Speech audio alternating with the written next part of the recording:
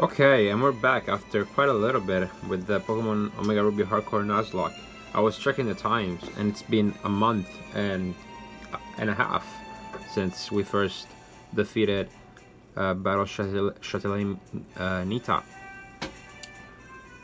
Uh, in this past month and a half, I have spent about a hundred hours, a hundred in-game hours uh, breeding and getting my Pokemon to perfect tip-top shape.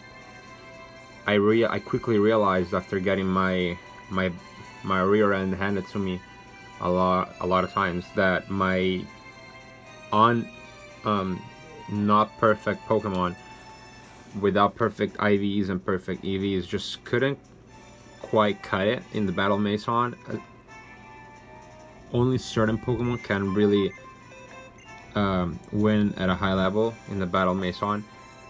Pokemon including um, uh, Gliscor and uh, Suicune, right? Perfect Suicune. Kind of perfect. Um, I'm gonna put him here real quick. The team that I have been using, right, um, is comprised of a, a, a perfect IV's Toxic Orb Gliscor, a Perfect IV's Mega Kangaskhan, and a a Calm Mind it's called Icy Wind Rest Suicune. Um, uh, the team is in the description, but it's not mine.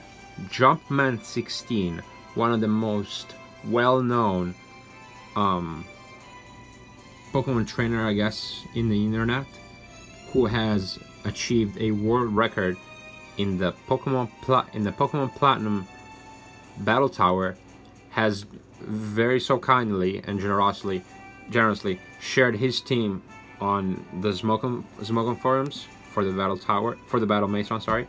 And I decided to go with the team that the best player of in of any the, that what I consider the best player of battle facilities in Pokemon made.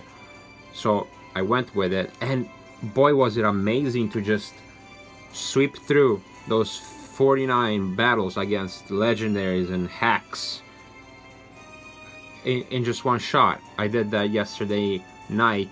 It was a lot of fun to win, uh, not having to rely on on you know strategies that I knew that deep I were not really working.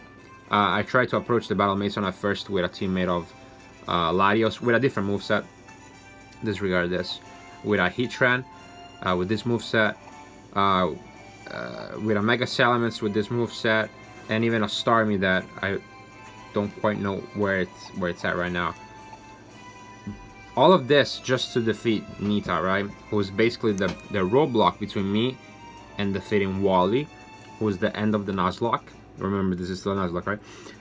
Um I, eventually I reached her right um, and I was able to put together a team that perfectly counters hers. So we're gonna go ahead today and defeat Nita and finally unlock uh, Super Boss Wally. And taking one more step, being closer to the finishing of this challenge. And I'm very excited about that. So I don't have any notes with me really. Uh, I guess I have them here on my computer. Which I got, I recently got back. So, you can't really see it, but but that's that's her team. She's got uh, Tornadus, Thundurus, and Landorus with, with those items and those move pools. Those are those are the base stats of our Pokemon, and those are my counters, right? My counters are totally, totally perfect, tailored just to defeat her team. So we're gonna go ahead and see how my team my team fares against her team. Okay. Keeping that in the background, I guess you can. I guess uh, it's it's cool. All right. Obviously, the trainer cap is back, um, and again, this is part of the kind of the secondary part of the well, the glare is too hard, so put this here. Um, we have Winston, the, the Aegislash, with the Persim Berry attached to it because this is going to be our Tornadus counter.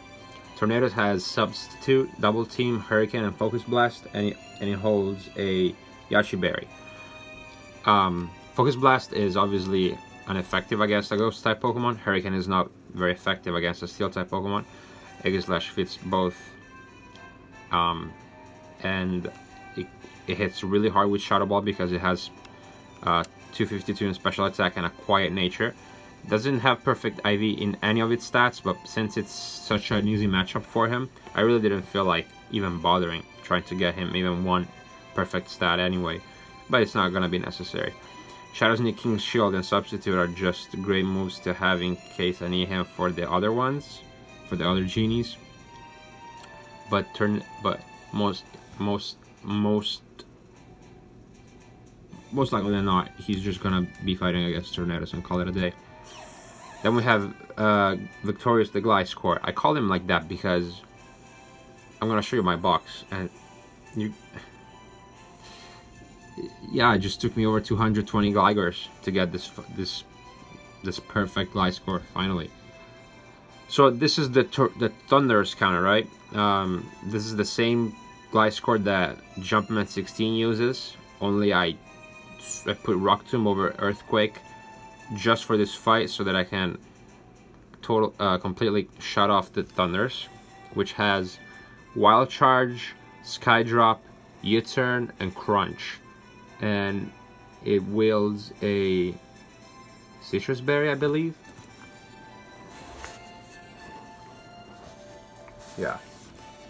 Yeah, so Gliscor resists uh, two, uh, three out of those moves. Skydrop is not even effective against it because it's a flying type, and Crunch doesn't do it nearly enough. So Rock Tomb is just gonna, you know, take it out. And this is the Landorus counter.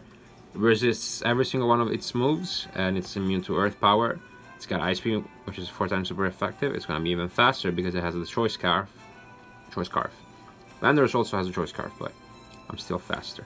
Thunder Wave is there just in case I need to like paralyze Tornadus for some reason and safeguard is there just if I need to avoid uh, it's a good move to shut off a lot of the secondary effects that its team has such as the um what really only one only one effect only one secondary effect which is the confusion from hurricane. But I just thought I will put it there because I don't have like no other move no other move does its job here anyway and Dragon Pulse is there because uh, I don't want to waste the Heart Scale to reteach you to it. But enough bab babbling. Let's just get. Let's just get. Uh, let's just get down to it. And uh, yeah, let's battle.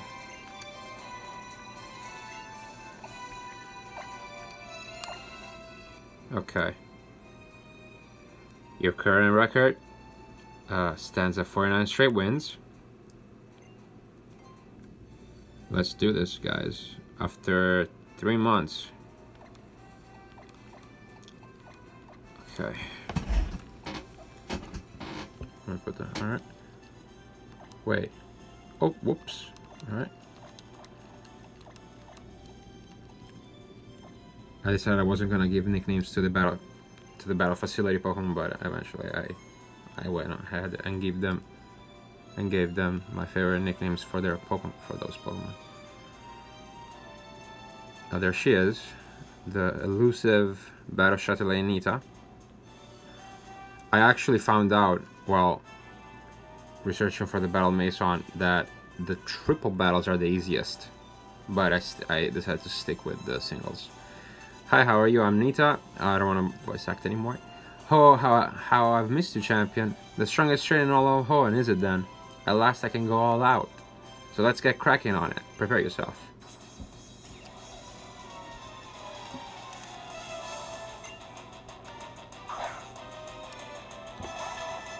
Okay. I did I I didn't turn on battle animations, did I? Yesterday I even reminded myself a million times to do so.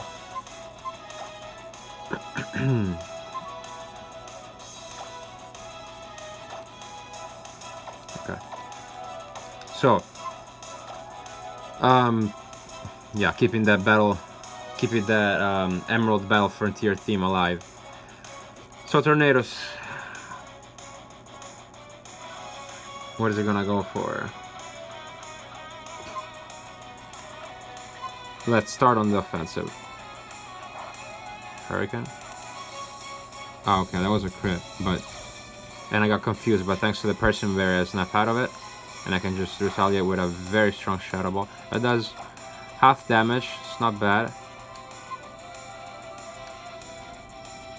I'm making his shield here, so that I can go back to my defensive form. Double team, okay. And a double team. Let's see if I hit through the... I do, awesome. And that's Tornadus down. Fantastic. And Landorus is back in back in the field again. That's King's Shield. Obviously, it's very funny how you know the hard part of the battle Maison really is getting to Nita because once you once you're here to to battle her and I think this applies to the other battle chatelaines as well. It's extremely easy to the, to win against them because you, you can just you know build a whole counter team to take them out like this one that I have. Okay she's gonna go into Thundurus now. She's the only by the way she's the only trainer in the battle Maison that even switches. So Thundurus goes down to the to one ice beam. Uh, taking out all of Gliscor's screen time and another ice beam is gonna call it game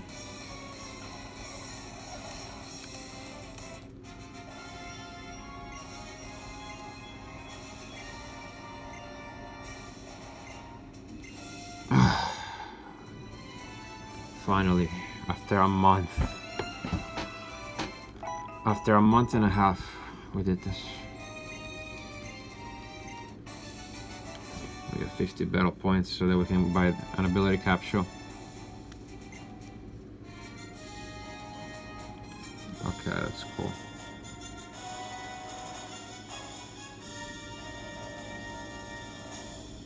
Okay. No, that's it. Take a break. Yes. I do not fancy try to trying to get to 3000 wins like Jumpman 16. Although I, I Wow, look at that. Alex! This monument was built to commemorate you, wasn't it?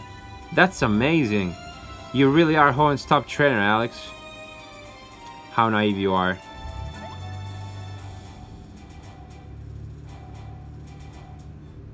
Uh, you are? There's no end for battles in the Battle Maison. Unknown strong trainers like us keep battling, hoping to achieve 100 or even 200 consecutive wins. Damn many?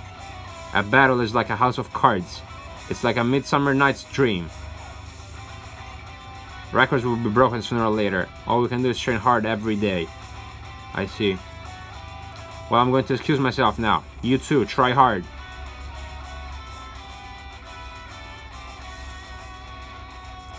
So there's still Pokemon... Uh... Wow, I feel like trying hard and seeing that. I'm sure I can still become stronger. I'll see you later then, Alex. I'm going off to train some more. Yeah, you're gonna become mega, mega, mega, mega, mega powerful. Let's take a look at this little... It's a moment... Uh, I mean, it looks okay. I cannot get next to it. It looks okay. Not too bad. Okay, so... Let's go out. Let's go back inside. So that we can proc Wally's level 64 rematches, which obviously are much much easier than than its final than its final team. Um, I really didn't think this through when I was planning out the whole uh, boss uh, boss list of this game that I needed to basically keep my Pokemon below 64 so that I could have a fair fight with him.